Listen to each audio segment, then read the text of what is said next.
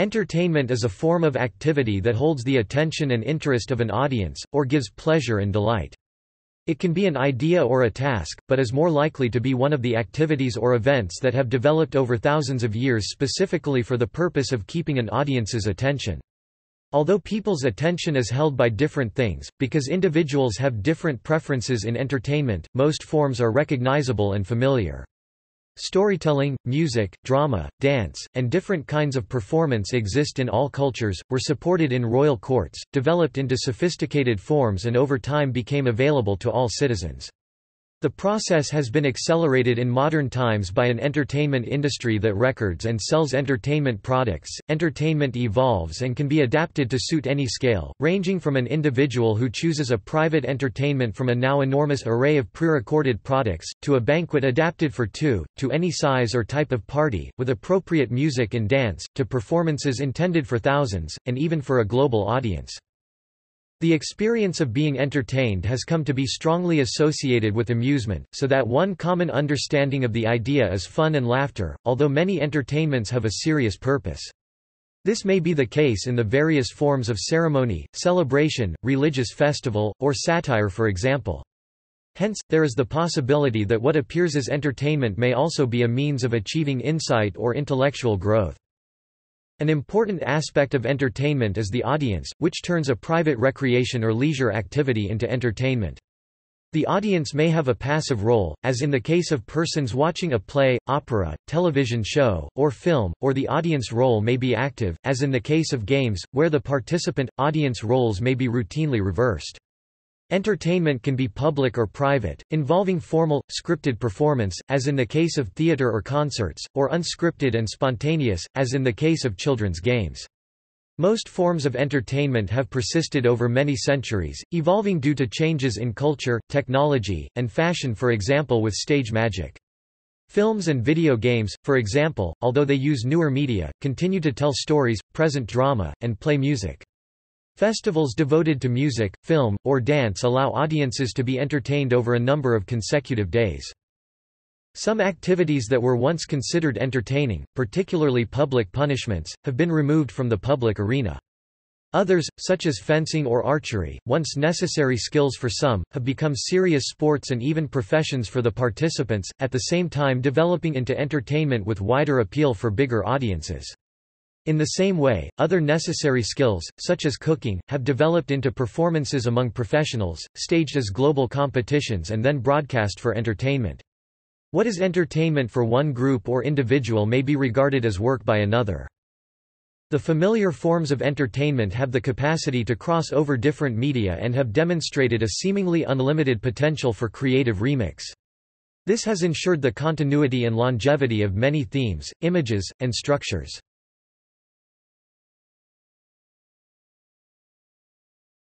Topic: Psychology and philosophy. Entertainment can be distinguished from other activities such as education and marketing even though they have learned how to use the appeal of entertainment to achieve their different goals.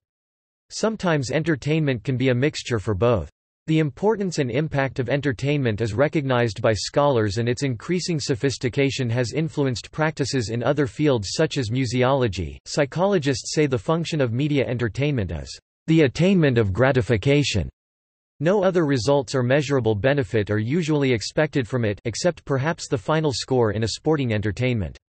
This is in contrast to education which is designed with the purpose of developing understanding or helping people to learn and marketing which aims to encourage people to purchase commercial products. However, the distinctions become blurred when education seeks to be more entertaining and entertainment or marketing seek to be more educational. Such mixtures are often known by the neologisms edutainment or infotainment. The psychology of entertainment as well as of learning has been applied to all these fields. Some education entertainment is a serious attempt to combine the best features of the two. Some people are entertained by others' pain or the idea of their unhappiness schadenfreude. An entertainment might go beyond gratification and produce some insight in its audience. Entertainment may skillfully consider universal philosophical questions such as, What is the meaning of life? What does it mean to be human? What is the right thing to do? Or, How do I know what I know? Questions such as these drive many narratives and dramas, whether they are presented in the form of a story, film, play, poem, book, dance, comic, or game. Dramatic examples include Shakespeare's influential play Hamlet, whose hero articulates these concerns in poetry, and films, such as The Matrix, which explores the nature of knowledge and was released worldwide. Novels give great scope for investigating these themes while they entertain their readers. An example of a creative work that considers philosophical questions so entertainingly that it has been presented in a very wide range of forms is The Hitchhiker's Guide to the Galaxy.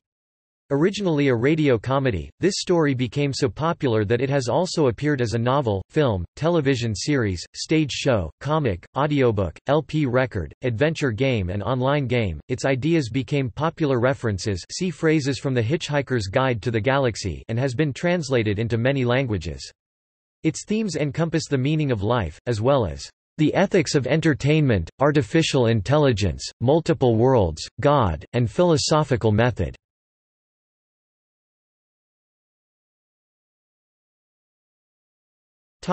History The ancient craft of communicating events and experiences, using words, images, sounds and gestures. By telling a story is not only the means by which people passed on their cultural values and traditions and history from one generation to another, it has been an important part of most forms of entertainment ever since the earliest times. Stories are still told in the early forms, for example, around a fire while camping, or when listening to the stories of another culture as a tourist. The earliest storytelling sequences we possess, now of course, committed to writing, were undoubtedly originally as speaking from mouth to ear and their force as entertainment derived from the very same elements we today enjoy in films and novels. Storytelling is an activity that has evolved and developed toward variety Many entertainments, including storytelling but especially music and drama, remain familiar but have developed into a wide variety of form to suit a very wide range of personal preferences and cultural expression. Many types are blended or supported by other forms. For example, drama, stories and banqueting or dining are commonly enhanced by music, sport and games are incorporated into other activities to increase appeal. Some may have evolved from serious or necessary activities such as running and jumping into competition and then become entertainment.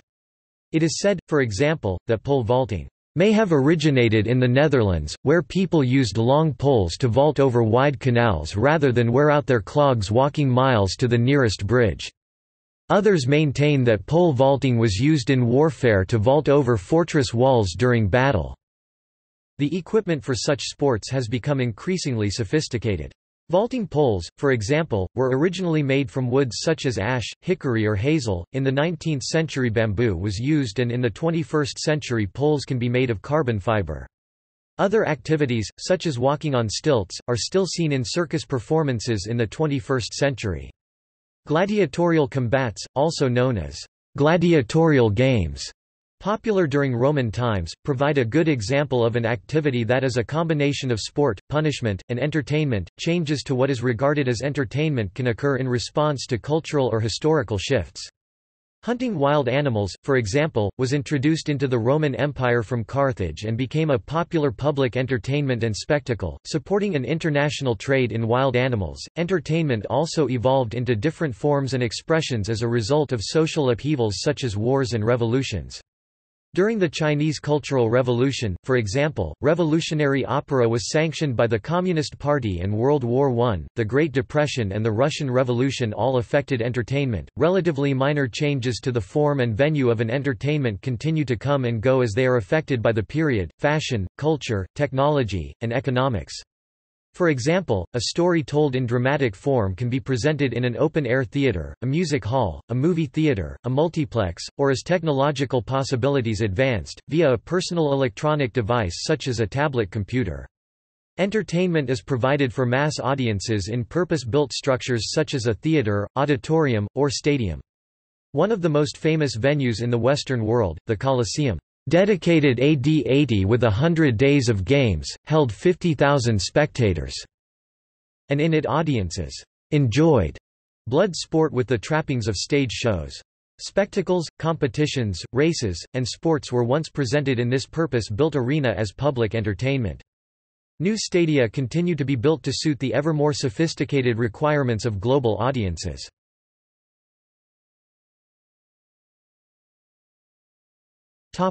Court entertainment Imperial and royal courts have provided training grounds and support for professional entertainers, with different cultures using palaces, castles and forts in different ways. In the Maya city-states, for example, Spectacles often took place in large plazas in front of palaces, the crowds gathered either there or in designated places from which they could watch at a distance. Court entertainments also crossed cultures.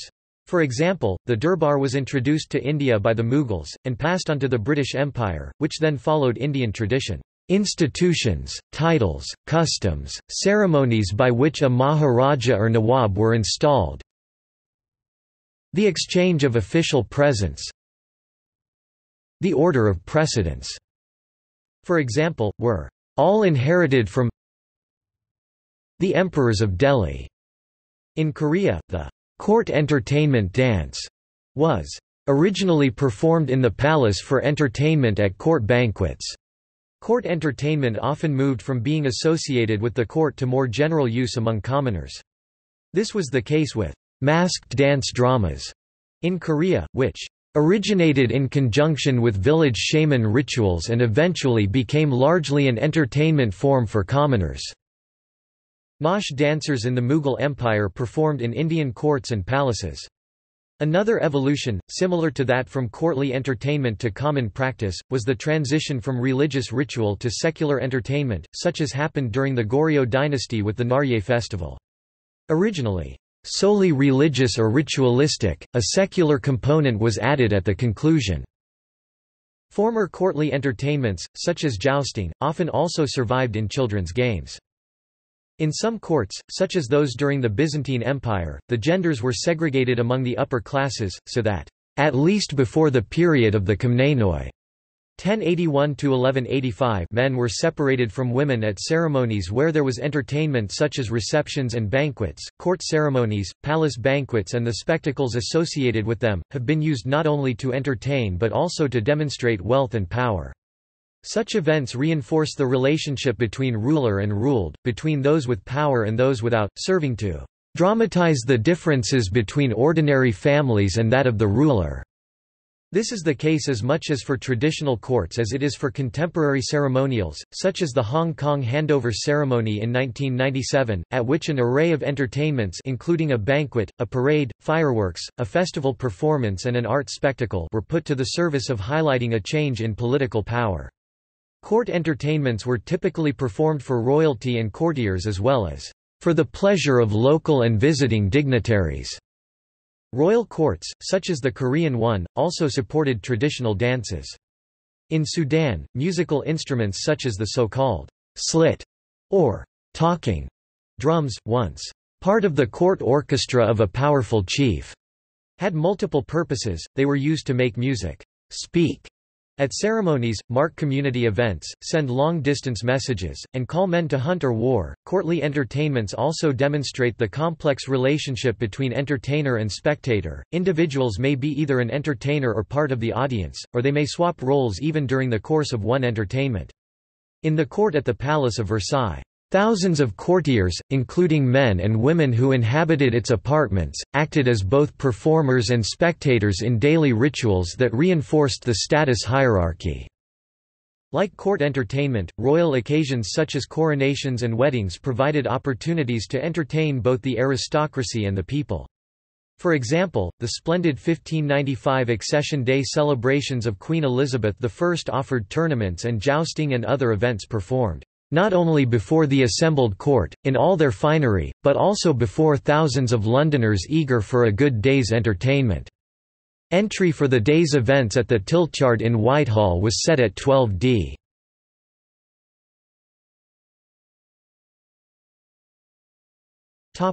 Public punishment Although most forms of entertainment have evolved and continued over time, some once popular forms are no longer as acceptable. For example, during earlier centuries in Europe, watching or participating in the punishment of criminals or social outcasts was an accepted and popular form of entertainment. Many forms of public humiliation also offered local entertainment in the past.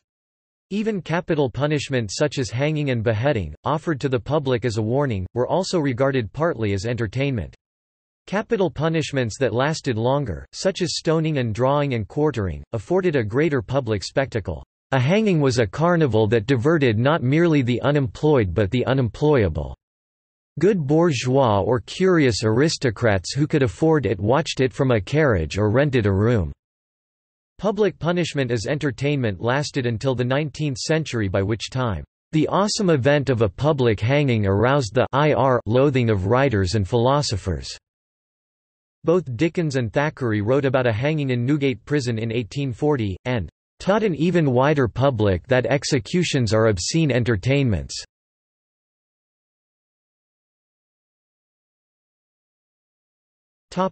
Children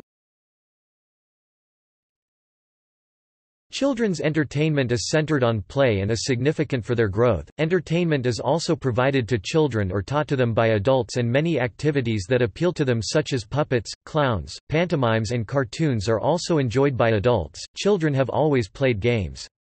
It is accepted that as well as being entertaining, playing games helps children's development. One of the most famous visual accounts of children's games is a painting by Pieter Bruegel the Elder called Children's Games, painted in 1560. It depicts children playing a range of games that presumably were typical of the time.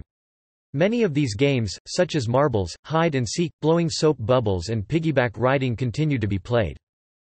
Most forms of entertainment can be or are modified to suit children's needs and interests.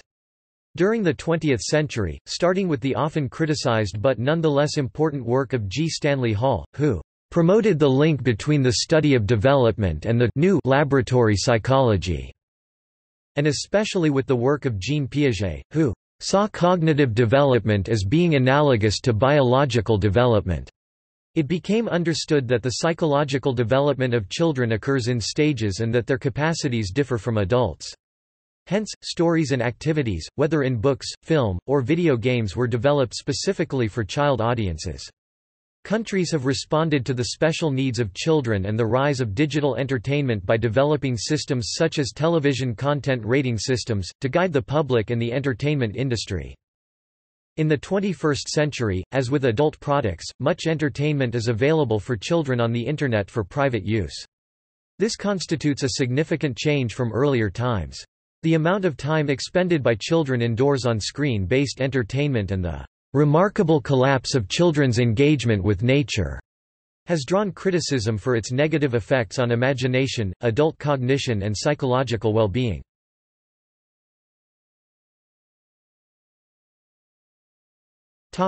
Forms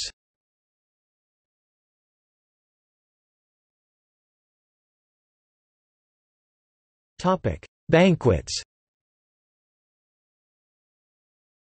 Banquets have been a venue for entertainment since ancient times, continuing until the 21st century, when they are still being used for many of their original purposes, to impress visitors, especially important ones 4, 6, 9, to show hospitality 2, 4, 8, as an occasion to showcase supporting entertainments such as music or dancing, or both 2, 3. They were an integral part of court entertainments 3, 4, and helped entertainers develop their skills 2, 3. They are also important components of celebrations such as coronations 9, weddings 7, birthdays 10, civic or political achievements 5, military engagements or victories 6, as well as religious obligations 1. In modern times, banquets are commercially available, for example, in restaurants 10 and combined with a performance in dinner theaters.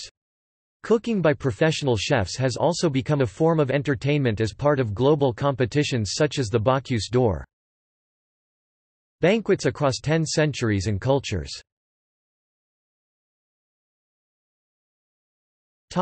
Music Music is a supporting component of many kinds of entertainment and most kinds of performance. For example, it is used to enhance storytelling, it is indispensable in dance 1, 4, and opera, and is usually incorporated into dramatic film or theater productions. Music is also a universal and popular type of entertainment on its own, constituting an entire performance such as when concerts are given 2, 4, 5, 6, 7, 8, 9. Depending on the rhythm, instrument, performance and style, music is divided into many genres, such as classical, jazz, folk, 4, 5, 8, rock, pop music 6, 9 or traditional 1, 3. Since the 20th century, performed music, once available only to those who could pay for the performers, has been available cheaply to individuals by the entertainment industry, which broadcasts it or pre-records it for sale. The wide variety of musical performances, whether or not they are artificially amplified 6, 7, 9, 10, all provide entertainment irrespective of whether the performance is from soloists 6, choral 2, or orchestral groups 5, 8, or ensemble 3. Live performances use specialized venues, which might be small or large, indoors or outdoors, free or expensive. The audiences have different expectations of the performers as well as of their own role in the performance.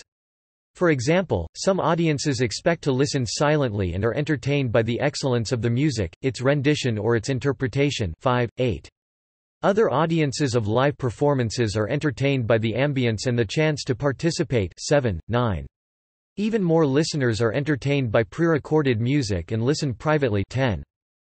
The instruments used in musical entertainment are either solely the human voice 2, 6 or solely instrumental 1, 3 or some combination of the 2 4, 5, 7, 8. Whether the performance is given by vocalists or instrumentalists, the performers may be soloists or part of a small or large group, in turn entertaining an audience that might be individual 10, passing by 3, small 1, 2 or large 6, 7, 8, 9. Singing is generally accompanied by instruments although some forms, notably a cappella and overtone singing, are unaccompanied. Modern concerts often use various special effects and other theatrics to accompany performances of singing and dancing. 7. Musical entertainment. 10 types of audience engagement.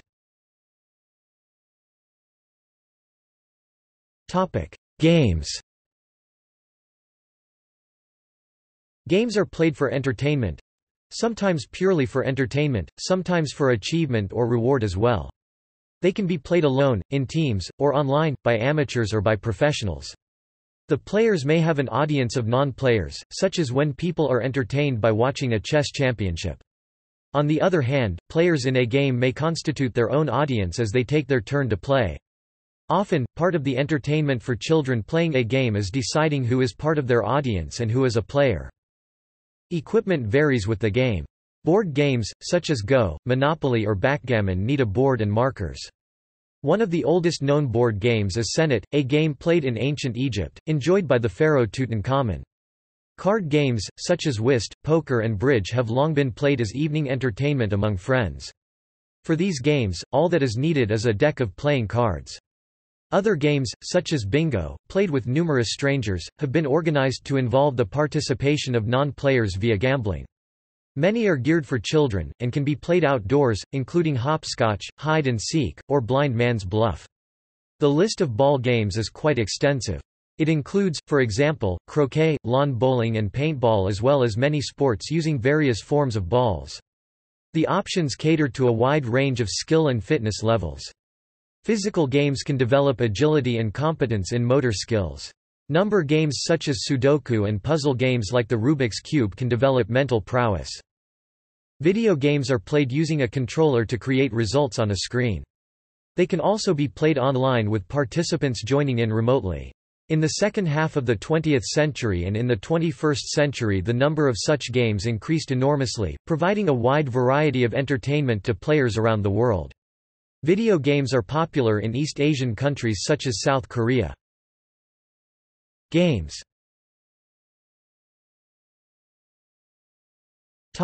Reading Reading has been a source of entertainment for a very long time, especially when other forms, such as performance entertainments, were or are either unavailable or too costly. Even when the primary purpose of the writing is to inform or instruct, reading is well known for its capacity to distract from everyday worries. Both stories and information have been passed on through the tradition of orality and oral traditions survive in the form of performance poetry for example. However, they have drastically declined. Once literacy had arrived in strength, there was no return to the oral prerogative. The advent of printing, the reduction in costs of books and an increasing literacy all served to enhance the mass appeal of reading. Furthermore, as fonts were standardized and texts became clearer, reading ceased being a painful process of decipherment and became an act of pure pleasure. By the 16th century in Europe, the appeal of reading for entertainment was well established. Among literature's many genres are some designed, in whole or in part, purely for entertainment. Limericks, for example, use verse in a strict, predictable rhyme and rhythm to create humor and to amuse an audience of listeners or readers. Interactive books such as, "'Choose Your Own Adventure' can make literary entertainment more participatory. Comics and cartoons are literary genres that use drawings or graphics, usually in combination with text, to convey an entertaining narrative. Many contemporary comics have elements of fantasy and are produced by companies that are part of the entertainment industry. Others have unique authors who offer a more personal, philosophical view of the world and the problems people face. Comics about superheroes such as Superman are of the first type.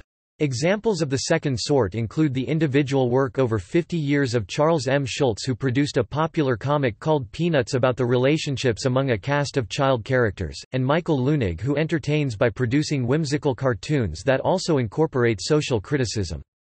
The Japanese manga style differs from the Western approach in that it encompasses a wide range of genres and themes for a readership of all ages.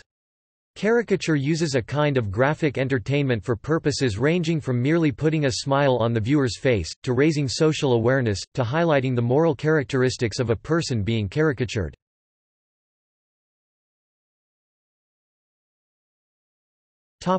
Comedy Comedy is both a genre of entertainment and a component of it, providing laughter and amusement, whether the comedy is the sole purpose or used as a form of contrast in an otherwise serious piece. It is a valued contributor to many forms of entertainment, including in literature, theatre, opera, film and games. In royal courts, such as in the Byzantine court, and presumably, also in its wealthy households. Mimes were the focus of orchestrated humor, expected or obliged to make fun of all at court, not even excepting the emperor and members of the imperial family. This highly structured role of jester consisted of verbal humor, including teasing, jests, insult, ridicule, and obscenity and non-verbal humor such as slapstick and horseplay in the presence of an audience.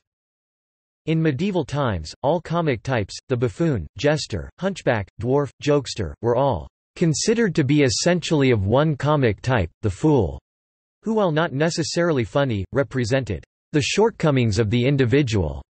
Shakespeare wrote 17 comedies that incorporate many techniques still used by performers and writers of comedy, such as jokes, puns, parody, wit, observational humor, or the unexpected effect of irony. One-liner jokes and satire are also used to comedic effect in literature. In farce, the comedy is a primary purpose. The meaning of the word comedy and the audience's expectations of it have changed over time and vary according to culture. Simple physical comedy such as slapstick is entertaining to a broad range of people of all ages. However, as cultures become more sophisticated, national nuances appear in the style and references so that what is amusing in one culture may be unintelligible in another.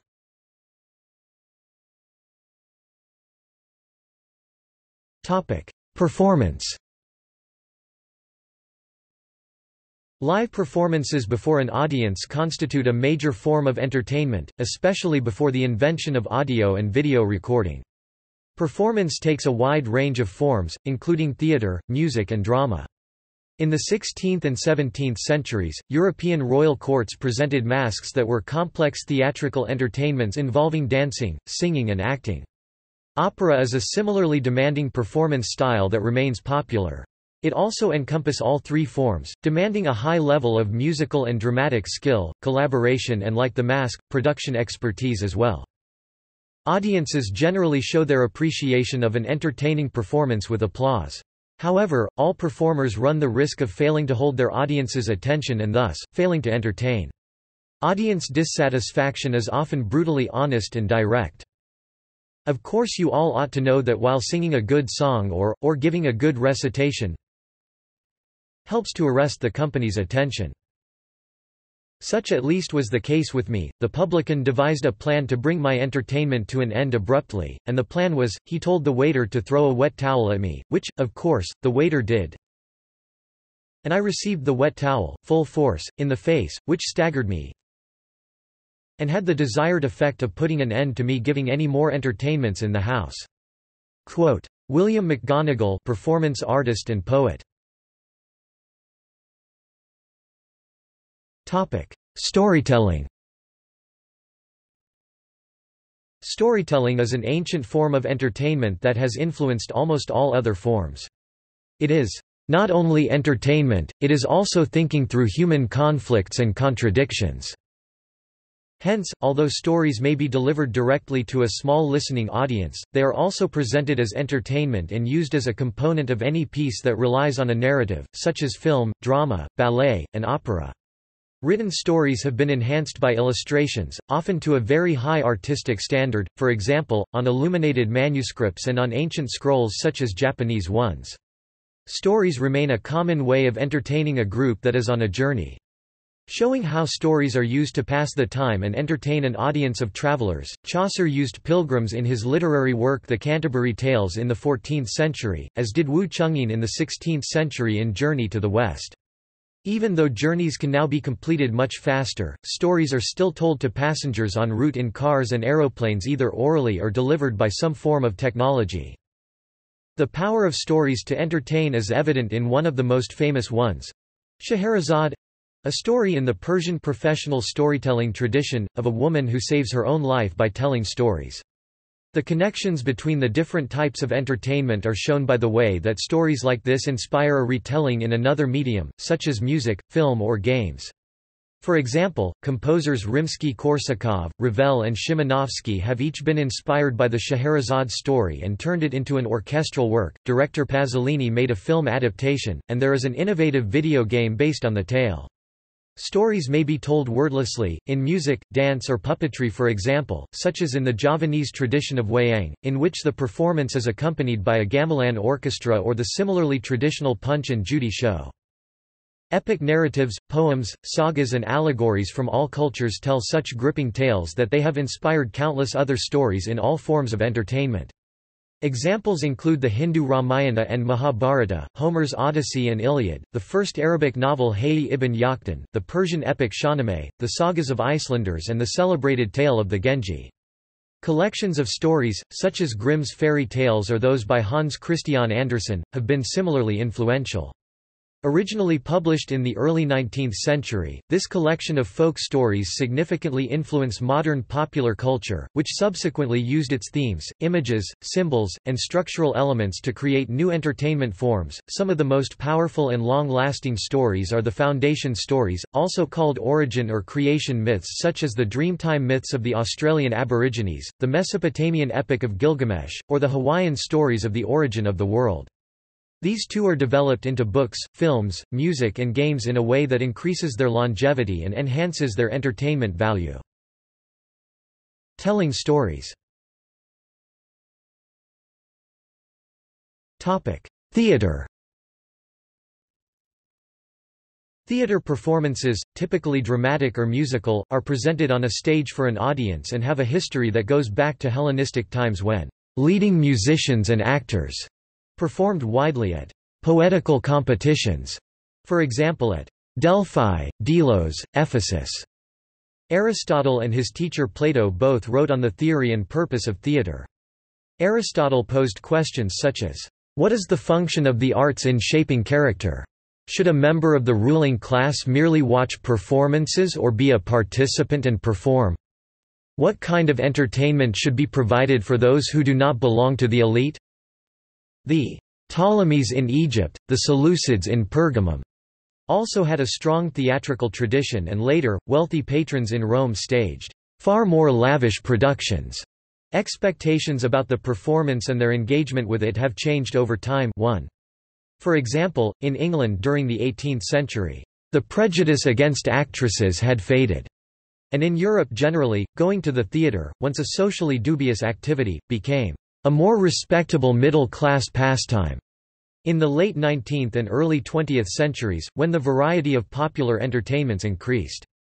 Operetta and music halls became available, and new drama theaters such as the Moscow Art Theatre and the Suvorin Theatre in Russia opened. At the same time, commercial newspapers began to carry theatre columns and reviews that helped make theatre a legitimate subject of intellectual debate in general discussions about art and culture. Audiences began to gather to appreciate creative achievement, to marvel at, and be entertained by, the prominent stars.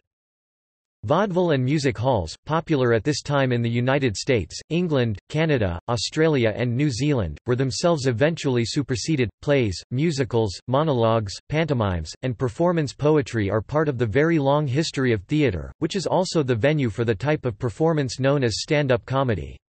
In the 20th century, radio and television, often broadcast live, extended the theatrical tradition that continued to exist alongside the new forms. The stage and the spaces set out in front of it for an audience create a theater.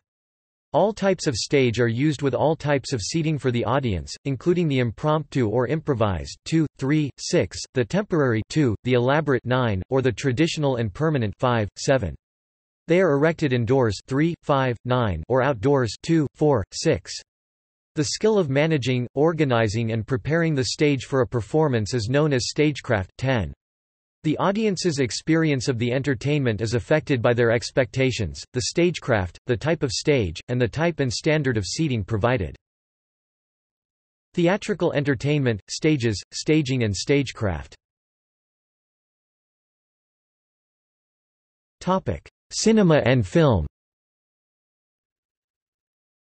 Films are a major form of entertainment, although not all films have entertainment as their primary purpose. Documentary film, for example, aims to create a record or inform, although the two purposes often work together.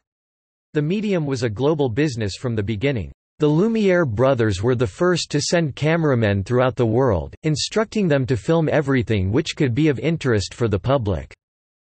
In 1908, Pathé launched and distributed newsreels and by World War I, films were meeting an enormous need for mass entertainment. In the first decade of the 20th century cinematic programs combined, at random, fictions and news films. The Americans first contrived a way of producing an illusion of motion through successive images. But the French were able to transform a scientific principle into a commercially lucrative spectacle. Film therefore became a part of the entertainment industry from its early days. Increasingly sophisticated techniques have been used in the film medium to delight and entertain audiences.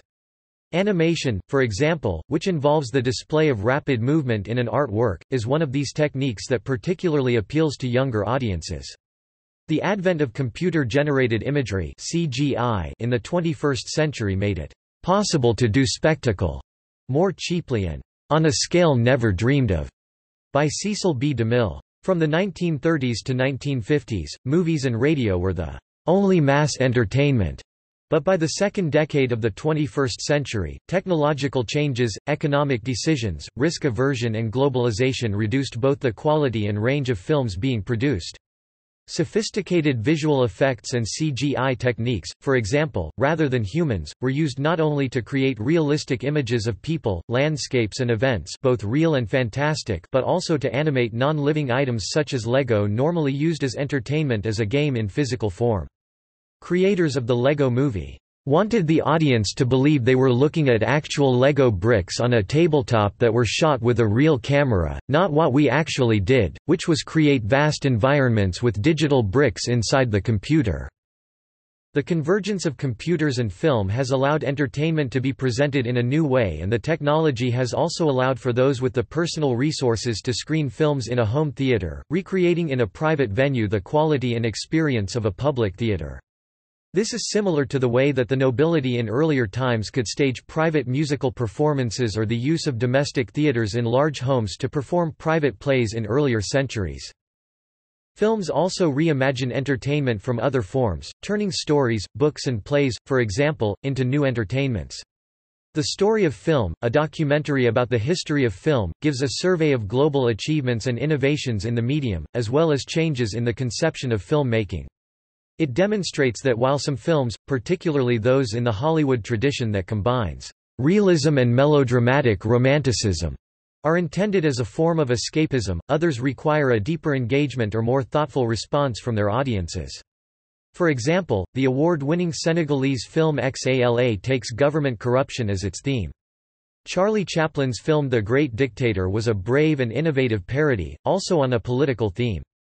Stories that are thousands of years old, such as Noah, have been reinterpreted in film, applying familiar literary devices such as allegory and personification with new techniques such as CGI to explore big themes such as human folly Good and evil, courage and despair, love, faith, and death, themes that have been a mainstay of entertainment across all its forms. As in other media, excellence and achievement in films is recognized through a range of awards, including ones from the American Academy of Motion Picture Arts and Sciences, the British Academy of Film and Television Arts, the Cannes International Film Festival in France, and the Asia Pacific Screen Awards.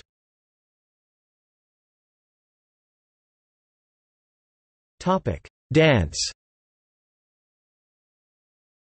The many forms of dance provide entertainment for all age groups and cultures. Dance can be serious in tone, such as when it is used to express a culture's history or important stories, it may be provocative, or it may put in the service of comedy.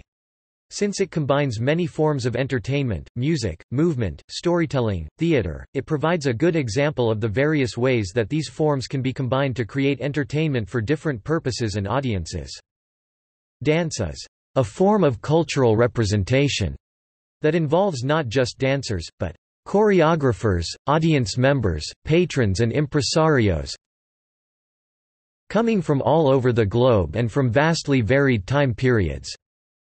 Whether from Africa, Asia or Europe, dance is constantly negotiating the realms of political, social, spiritual and artistic influence. Even though dance traditions may be limited to one cultural group, they all develop for example, in Africa, there are Dahomeyan dances, Hausa dances, Maasai dances and so forth. Ballet is an example of a highly developed Western form of dance that moved to the theaters from the French court during the time of Louis XIV, the dancers becoming professional theatrical performers.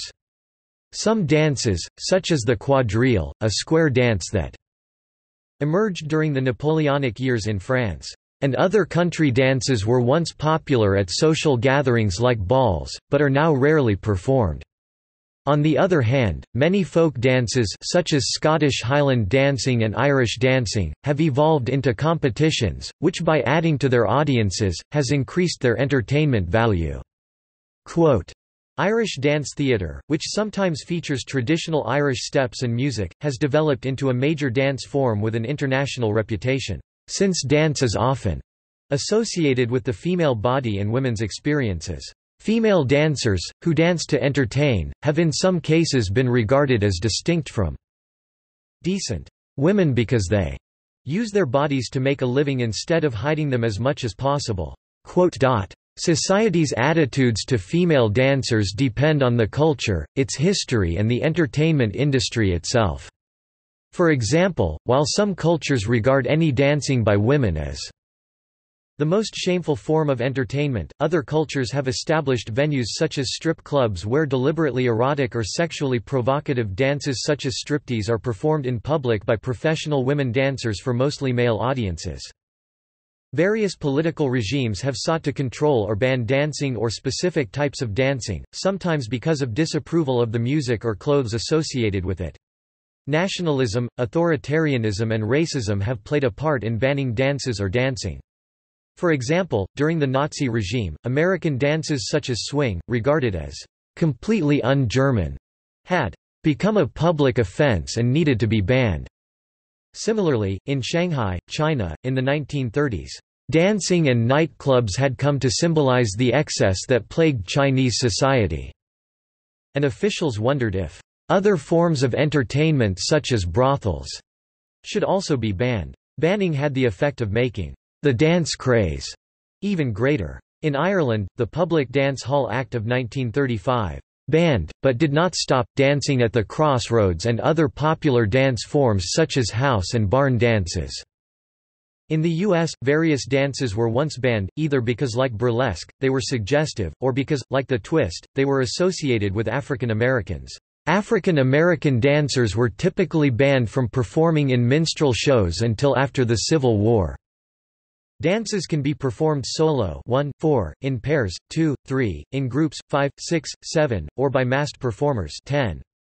They might be improvised 4, 8 or highly choreographed 1, 2, 5, 10, spontaneous for personal entertainment, such as when children begin dancing for themselves, a private audience 4, a paying audience 2, a world audience 10, or an audience interested in a particular dance genre 3, 5.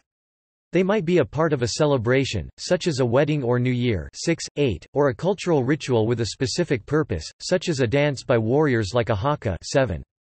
Some dances, such as traditional dance in 1 and ballet in 2, need a very high level of skill and training, others, such as the can-can, require a very high level of energy and physical fitness. Entertaining the audience is a normal part of dance but its physicality often also produces joy for the dancers themselves 9.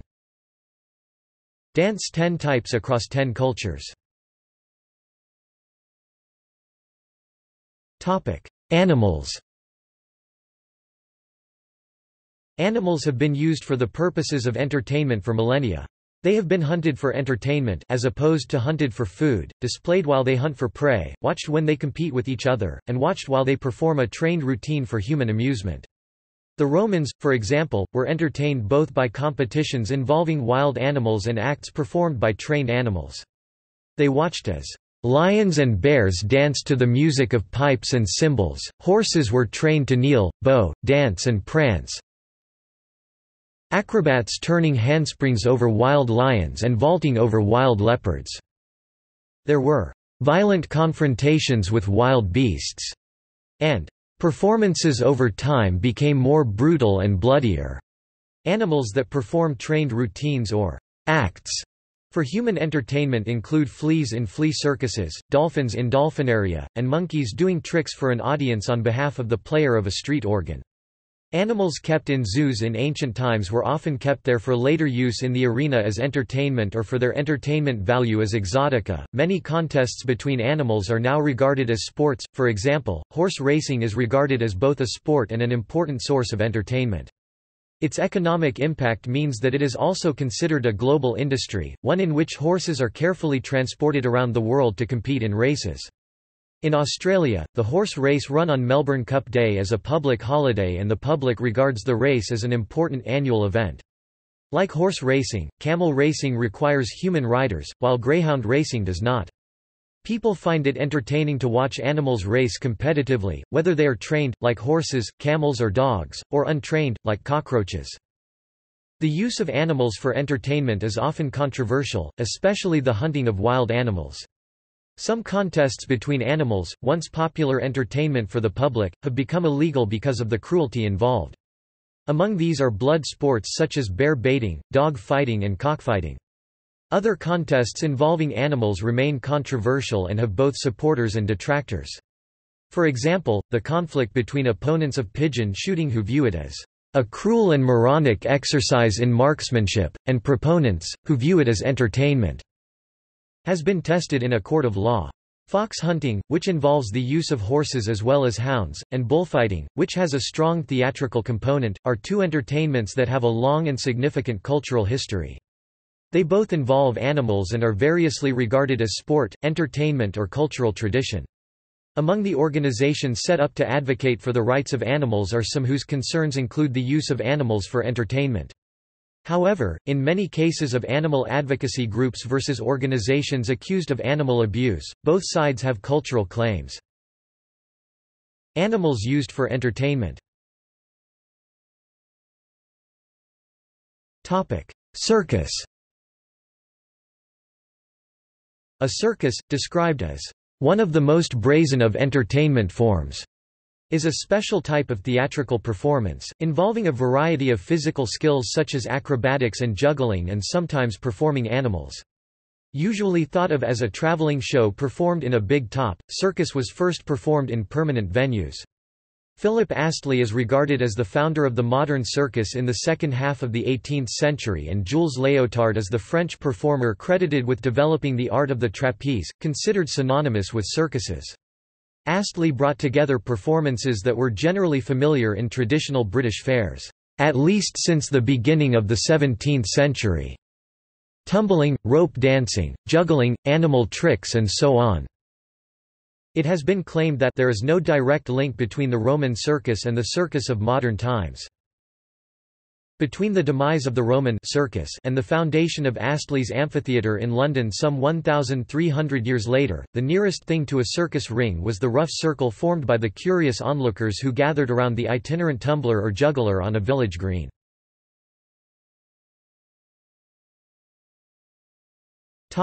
Magic The form of entertainment known as stage magic or conjuring and recognizable as performance, is based on traditions and texts of magical rites and dogmas that have been a part of most cultural traditions since ancient times. References to magic, for example, can be found in the Bible, in Hermeticism, in Zoroastrianism, in the Kabbalistic tradition, in mysticism, and in the sources of Freemasonry. Stage magic is performed for an audience in a variety of media and locations on stage, on television, in the street, and live at parties or events.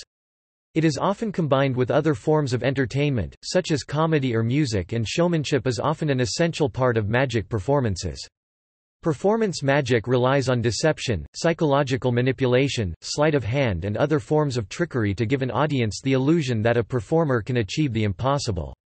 Audiences amazed at the stunt performances and escape acts of Harry Houdini, for example, regarded him as a magician. Fantasy magicians have held an important place in literature for centuries, offering entertainment to millions of readers. Famous wizards such as Merlin in the Arthurian legends have been written about since the 5th and 6th centuries, while in the 21st century, the young wizard Harry Potter became a global entertainment phenomenon when the book series about him sold about 450 million copies as at June 2011, making it the best-selling book series in history.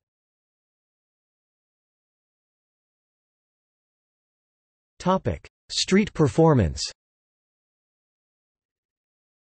Street entertainment, street performance or busking are forms of performance that have been meeting the public's need for entertainment for centuries. It was an integral aspect of London's life. For example, when the city in the early 19th century was filled with spectacle and diversion. Minstrels or troubadours are part of the tradition. The art and practice of busking is still celebrated at annual busking festivals. There are three basic forms of contemporary street performance. The first form is the circle show. It tends to gather a crowd, usually has a distinct beginning and end, and is done in conjunction with street theater, puppeteering, magicians, comedians, acrobats, jugglers and sometimes musicians. This type has the potential to be the most lucrative for the performer because there are likely to be more donations from larger audiences if they are entertained by the act. Good buskers control the crowd so patrons do not obstruct foot traffic. The second form, the walk by act, has no distinct beginning or end. Typically, the busker provides an entertaining ambience, often with an unusual instrument, and the audience may not stop to watch or form a crowd. Sometimes a walk by act spontaneously turns into a circle show. The third form, café busking, is performed mostly in restaurants, pubs, bars and cafés. This type of act occasionally uses public transport as a venue.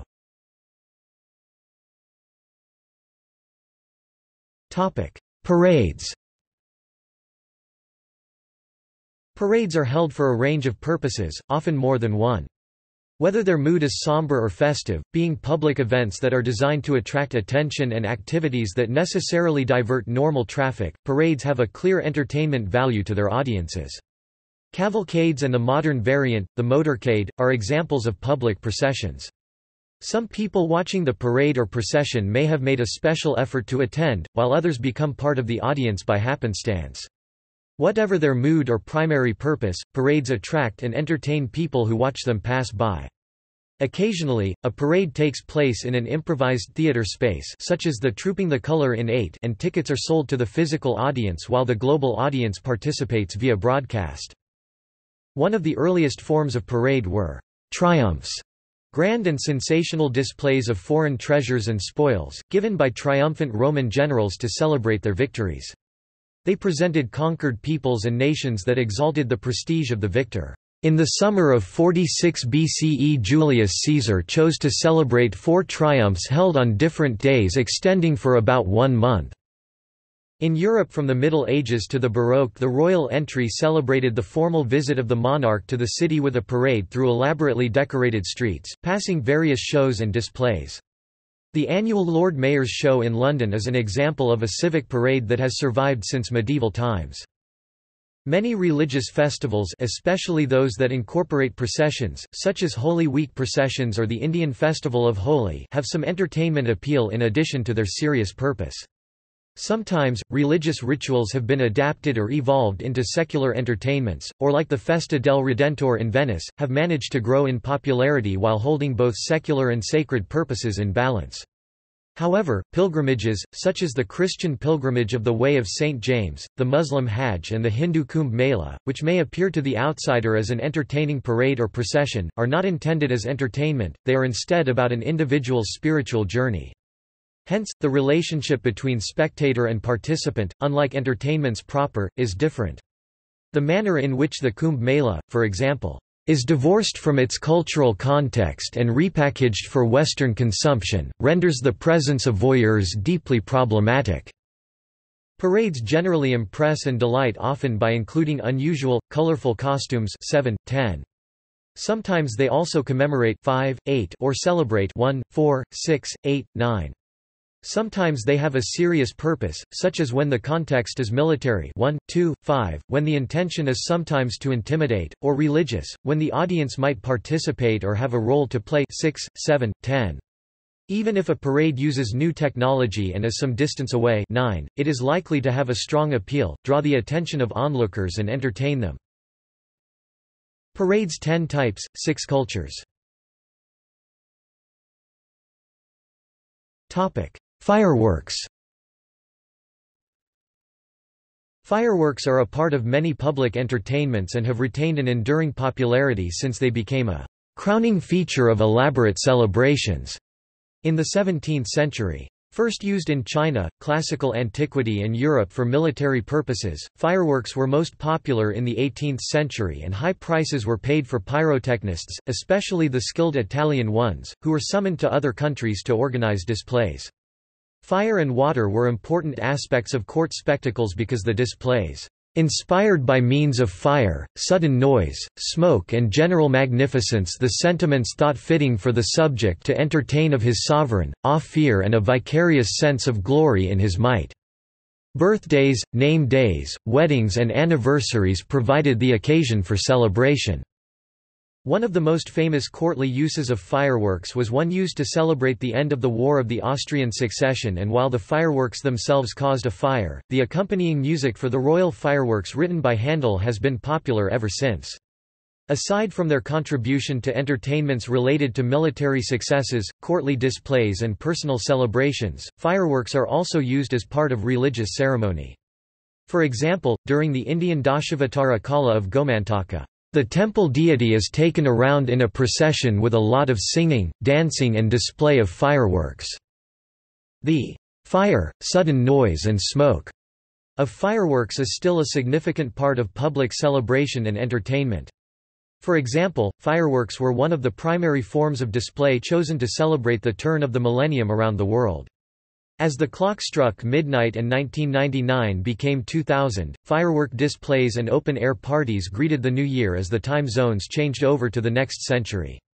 Fireworks, carefully planned and choreographed, were let off against the backdrop of many of the world's most famous buildings, including the Sydney Harbour Bridge, the Pyramids of Giza in Egypt, the Acropolis in Athens, Red Square in Moscow, Vatican City in Rome, the Brandenburg Gate in Berlin, the Eiffel Tower in Paris, and Elizabeth Tower in London.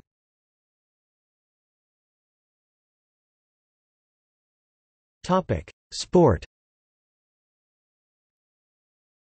Sporting competitions have always provided entertainment for crowds. To distinguish the players from the audience, the latter are often known as spectators. Developments in stadium and auditorium design, as well as in recording and broadcast technology, have allowed off-site spectators to watch sport, with the result that the size of the audience has grown ever larger and spectator sport has become increasingly popular. Two of the most popular sports with global appeal are association football and cricket. Their ultimate international competitions, the World Cup and Test cricket, are broadcast around the world.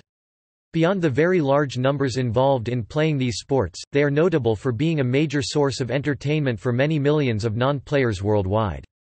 A comparable multi-stage, long-form sport with global appeal is the Tour de France, unusual in that it takes place outside of special stadia, being run instead in the countryside. Aside from sports that have worldwide appeal and competitions, such as the Olympic Games, the entertainment value of a sport depends on the culture and country where people play it. For example, in the United States, baseball and basketball games are popular forms of entertainment, in Bhutan, the national sport is archery, in New Zealand, it is rugby union, in Iran, it is freestyle wrestling. Japan's unique sumo wrestling contains ritual elements that derive from its long history. In some cases, such as the international running group Hash House Harriers, participants create a blend of sport and entertainment for themselves, largely independent of spectator involvement, where the social component is more important than the competitive. The evolution of an activity into a sport and then an entertainment is also affected by the local climate and conditions. For example, the modern sport of surfing is associated with Hawaii and that of snow skiing probably evolved in Scandinavia. While these sports and the entertainment they offer to spectators have spread around the world, people in the two originating countries remain well known for their prowess. Sometimes the climate offers a chance to adapt another sport such as in the case of ice hockey—an important entertainment in Canada.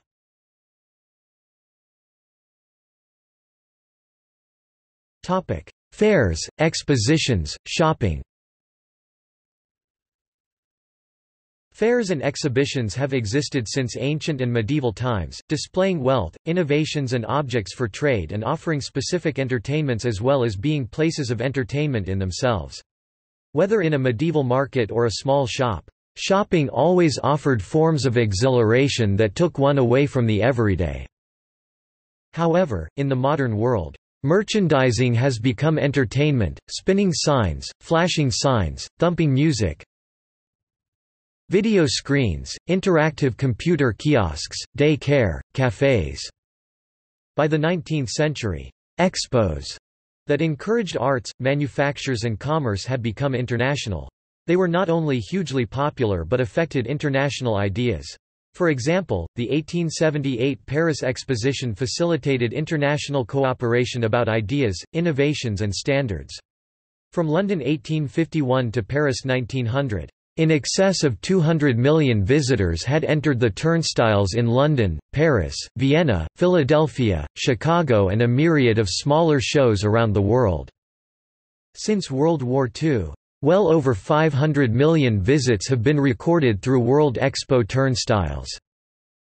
As a form of spectacle and entertainment, expositions influenced everything from architecture, to patterns of globalization, to fundamental matters of human identity and in the process established the close relationship between fairs, the rise of department stores and art museums, the modern world of mass consumption and the entertainment industry.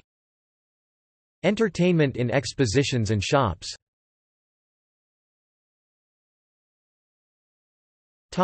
Safety Some entertainments, such as at large festivals whether religious or secular, concerts, clubs, parties and celebrations, involve big crowds.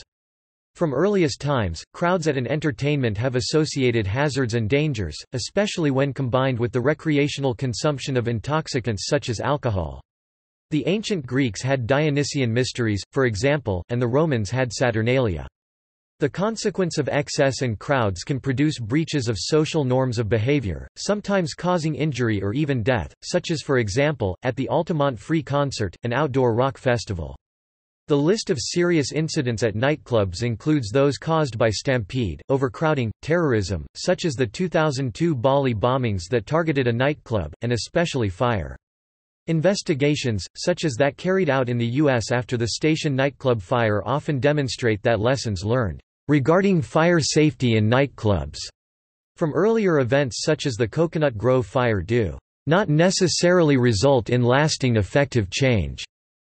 Efforts to prevent such incidents include appointing special officers, such as the medieval Lord of Misrule or, in modern times, security officers who control access, and also ongoing improvement of relevant standards such as those for building safety. The tourism industry now regards safety and security at entertainment venues as an important management task.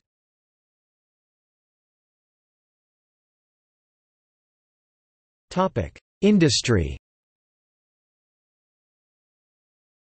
Although kings, rulers and powerful people have always been able to pay for entertainment to be provided for them and in many cases have paid for public entertainment, people generally have made their own entertainment or when possible, attended a live performance.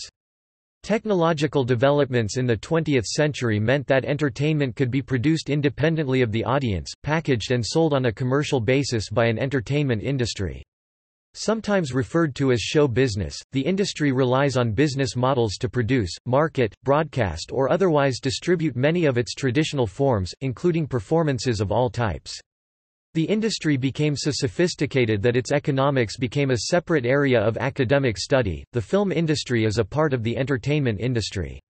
Components of it include the Hollywood and Bollywood film industries, as well as the cinema of the United Kingdom and all the cinemas of Europe, including France, Germany, Spain, Italy and others.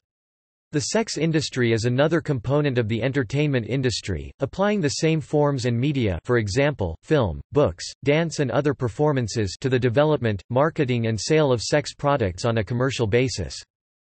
Amusement parks entertain paying guests with rides, such as roller coasters, rideable miniature railways, water rides, and dark rides, as well as other events and associated attractions. The parks are built on a large area subdivided into themed areas named lands. Sometimes the whole amusement park is based on one theme, such as the various SeaWorld parks that focus on the theme of sea life. One of the consequences of the development of the entertainment industry has been the creation of new types of employment. While jobs such as writer, musician and composer exist as they always have, people doing this work are likely to be employed by a company rather than a patron as they once would have been. New jobs have appeared, such as gaffer or special effects supervisor in the film industry, and attendants in an amusement park. Prestigious awards are given by the industry for excellence in the various types of entertainment. For example, there are awards for music, games including video games, comics, comedy, theater, television, film, dance and magic. Sporting awards are made for the results and skill, rather than for the entertainment value. The entertainment industry Topic: Architecture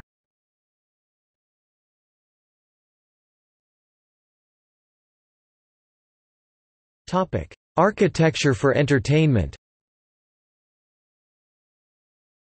Purpose-built structures as venues for entertainment that accommodate audiences have produced many famous and innovative buildings, among the most recognizable of which are theater structures. For the ancient Greeks, the architectural importance of the theatre is a reflection of their importance to the community, made apparent in their monumentality, in the effort put into their design, and in the care put into their detail.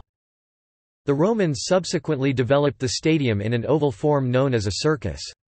In modern times, some of the grandest buildings for entertainment have brought fame to their cities as well as their designers. The Sydney Opera House, for example, is a World Heritage Site and the O in London is an entertainment precinct that contains an indoor arena, a music club, a cinema and exhibition space. The Bayreuth Festspielhaus in Germany is a theatre designed and built for performances of one specific musical composition. Two of the chief architectural concerns for the design of venues for mass audiences are speed of egress and safety. The speed at which the venue empty is important both for amenity and safety, because large crowds take a long time to disperse from a badly designed venue, which creates a safety risk. The Hillsborough disaster is an example of how poor aspects of building design can contribute to audience deaths. Sightlines and acoustics are also important design considerations in most theatrical venues. In the 21st century, entertainment venues, especially stadia, are likely to figure among the leading architectural genres. However, they require a whole new approach to design, because they need to be Sophisticated entertainment centers, multi-experience venues, capable of being enjoyed in many diverse ways. Hence, architects now have to design with two distinct functions in mind, as sports and entertainment centers playing host to live audiences, and as sports and entertainment studios serving the viewing and listening requirements of the remote audience. Architecture for entertainment. Architecture as entertainment Architects who push the boundaries of design or construction sometimes create buildings that are entertaining because they exceed the expectations of the public and the client and are aesthetically outstanding. Buildings such as Guggenheim Museum Bilbao, designed by Frank Gehry, are of this type, becoming a tourist attraction as well as a significant international museum. Other apparently usable buildings are really follies, deliberately constructed for a decorative purpose and never intended to be practical. On the other hand, sometimes architecture is entertainment, while pretending to be functional. The tourism industry, for example, creates or renovates buildings as attractions that have either never been used or can never be used for their ostensible purpose. They are instead repurposed to entertain visitors often by simulating cultural experiences. Buildings, history and sacred spaces are thus made into commodities for purchase. Such intentional tourist attractions divorce buildings from the past so that the difference between historical authenticity and contemporary entertainment venues, theme parks becomes hard to define. Examples include the preservation of the Alcazar of Toledo, with its grim Civil War history, the conversion of slave dungeons into tourist attractions in Ghana, such as, for example, Cape Coast Castle and the presentation of indigenous culture in Libya. The specially constructed buildings in amusement parks represent the park's theme and are usually neither authentic nor completely functional.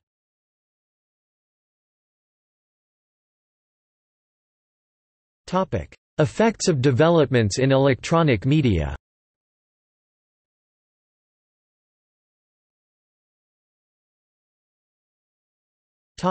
Globalization By the second half of the 20th century, developments in electronic media made possible the delivery of entertainment products to mass audiences across the globe. The technology enabled people to see, hear and participate in all the familiar forms, stories, theater, music, dance, wherever they live. The rapid development of entertainment technology was assisted by improvements in data storage devices such as cassette tapes or compact discs, along with increasing miniaturization. Computerization and the development of barcodes also made ticketing easier, faster and global.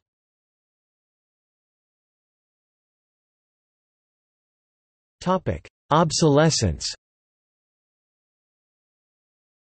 In the 1940s, radio was the electronic medium for family entertainment and information. In the 1950s, it was television that was the new medium and it rapidly became global, bringing visual entertainment, first in black and white, then in color, to the world. By the 1970s, games could be played electronically, then handheld devices provided mobile entertainment, and by the last decade of the 20th century, via networked play. In combination with products from the entertainment industry, all the traditional forms of entertainment became available personally. People could not only select an entertainment product such as a piece of music, film or game, they could choose the time and place to use it. The Proliferation of portable media players and the emphasis on the computer as a site for film consumption together have significantly changed how audiences encounter films. One of the most notable consequences of the rise of electronic entertainment has been the rapid obsolescence of the various recording and storage methods. As an example of speed of change driven by electronic media, over the course of one generation, television as a medium for receiving standardized entertainment products went from unknown, to novel, to ubiquitous and finally to superseded. One estimate was that by 2011 over 30% of households in the U.S. would own a Wii console. About the same percentage that owned a television in 1953. Some expected that halfway through the second decade of the 21st century, online entertainment would have completely replaced television—which didn't happen. The so-called digital revolution has produced an increasingly transnational marketplace that has caused difficulties for governments, business, industries, and individuals, as they all try to keep up.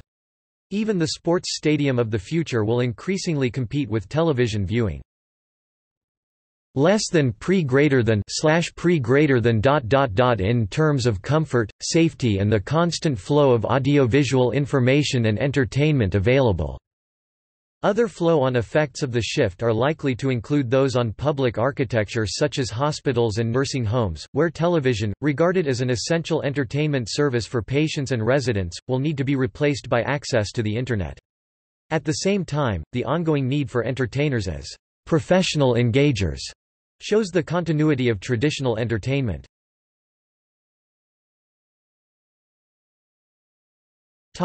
Convergence By the second decade of the 21st century, analog recording was being replaced by digital recording and all forms of electronic entertainment began to converge.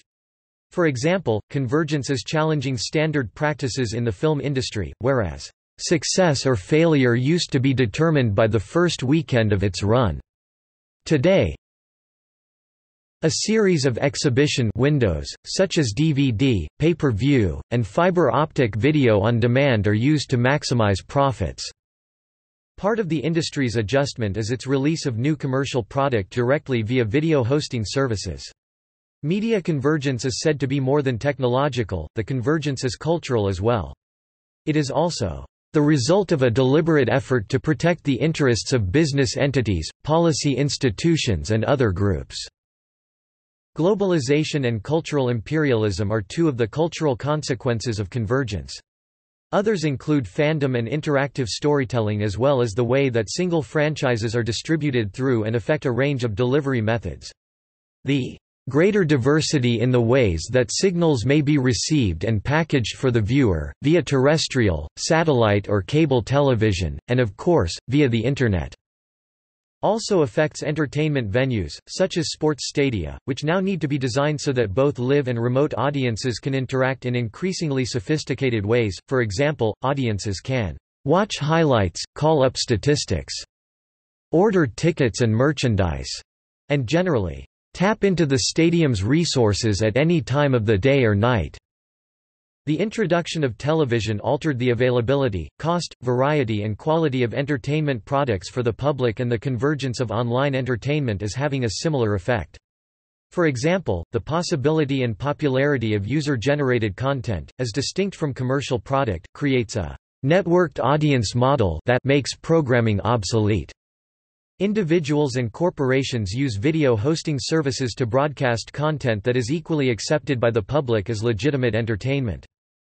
While technology increases demand for entertainment products and offers increased speed of delivery, the forms that make up the content are in themselves, relatively stable. Storytelling, music, theater, dance and games are recognizably the same as in earlier centuries.